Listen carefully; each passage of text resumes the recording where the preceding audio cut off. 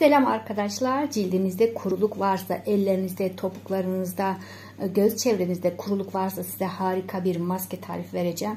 Öncelikle şöyle bir çay kaşığı kadar balımı kabıma ekliyorum.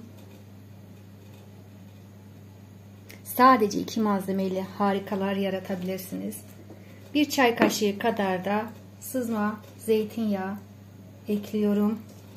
Her iki malzeme de cilde çok iyi geliyor, nemlendiriyor. E vitamini kaynağı ve vitamin kaynağı olan bu maske için sadece her iki malzemeyi aynı oranda karıştırmanız yeterli. Şöyle muhteşem bir losyon oluyor. Nasıl kullanıyorsanız öncelikle kuru olan bölgeyi, bölgeyi ılık suyla yıkıyorsunuz.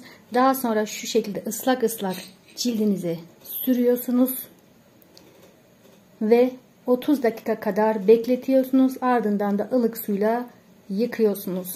Bunu haftada düzenli olarak 3 defa yaptığınız zaman topuklarınız, göz çevreniz, yüzünüz kuru olan neresi varsa çok güzel nemlendiğini görüyorsunuz.